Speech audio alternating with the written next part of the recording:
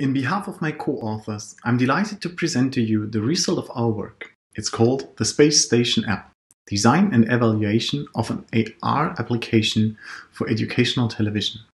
I'm Simon von der Au, master student at the LMU and working student at the the Research Institute for the German Public Broadcasters.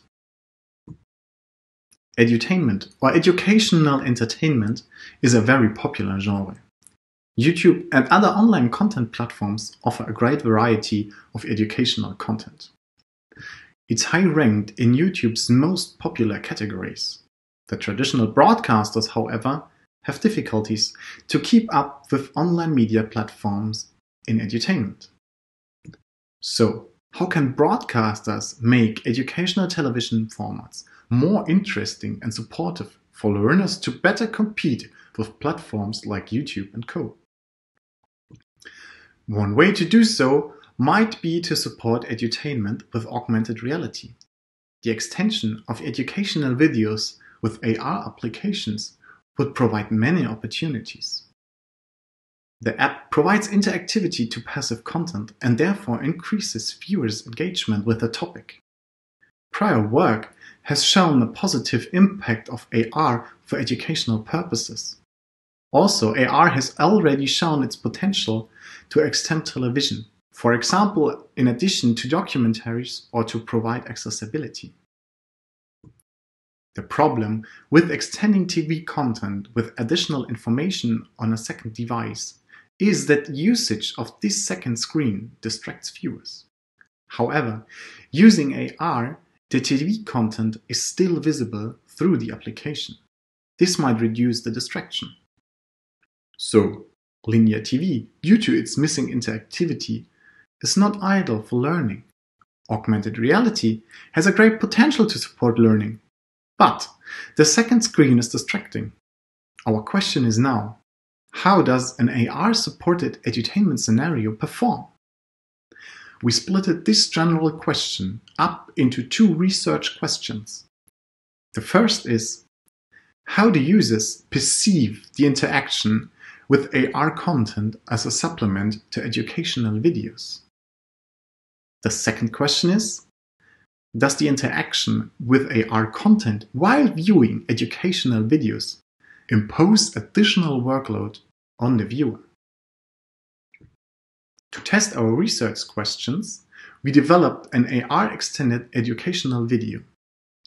We choose the ISS as neutral but interesting science topic to kindle the interest of a younger and older generation at the same time.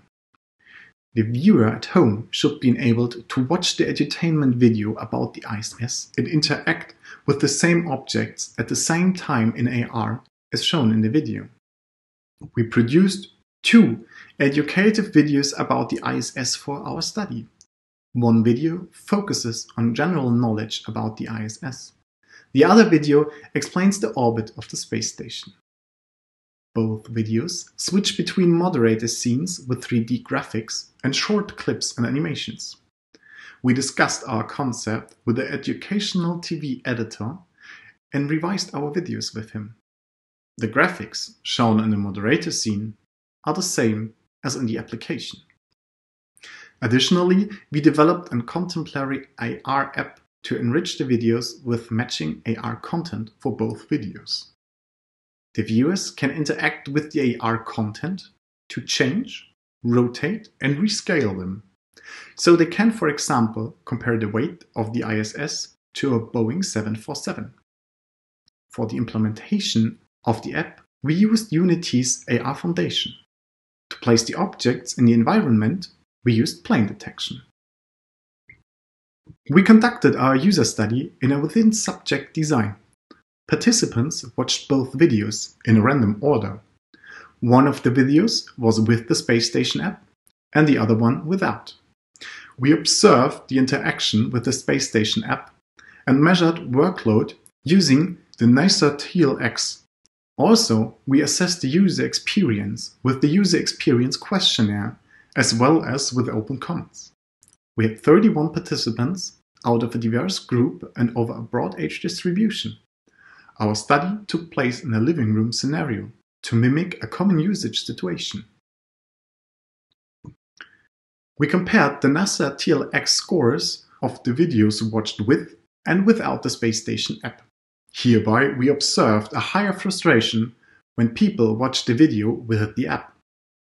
Especially for participants who didn't have a lot of experience with AR, it was difficult to handle the app in the first place. Also, we observed a higher physical workload in this condition, which is not surprising compared to passively watched video. It was interesting to see that there is a slightly higher mental workload when using the app and the video together. This showed us that using both at the same time, even though we used AR, caused a higher mental workload. There is no significant difference in effort, performance, and temporal. This effect is positively rated by us. We could observe two trends after analyzing the results from the UAEQ.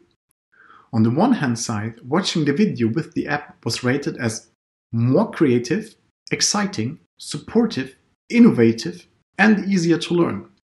On the other hand, it was rated as less well structured, slightly more confusing, and less compliant, which goes in line with our observations from the NASA TLX. The open comments confirmed both observations. Participants liked the app extension, but they reported difficulties to concentrate on both the video and the app. To answer our first research question, participants liked the app as an extension to the video. This is visible in the high scores in the hedonic quality of the UEQ. Therefore, from the user experience perspective, the AR app is a useful addition to the video. Of course, we cannot neglect that the novelty effect could have affected our results. But despite that, we are convinced that AR supported edutainment could spark motivation and engagement over a longer period of time. Only a long term evaluation can find that out. As mentioned before, Watching educational videos while interacting with an AR app imposes additional physical and mental workload on the viewer. We already expected an additional physical workload compared to watching the video. Multitasking with the app and the video increases the mental workload. However, the mental workload is only slightly higher, and we are confident that with an appropriate design, multitasking could be avoided. To conclude, the viewers accepted an AR extension of educational videos. This offers a great potential for educational TV.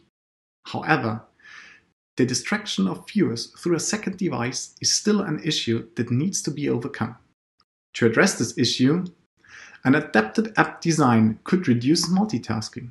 Also, it was suggested by a participant that the app and the video could be connected and the video could be slowed down or paused during interaction.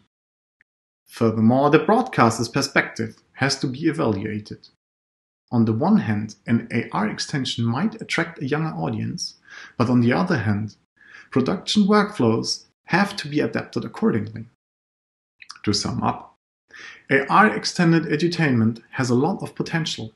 The impact on learning, however, still has to be evaluated. This is usually the time to ask questions. Due to this format, it's quite difficult. So if you have any questions, please take a look at our paper or get in touch with us. Thank you.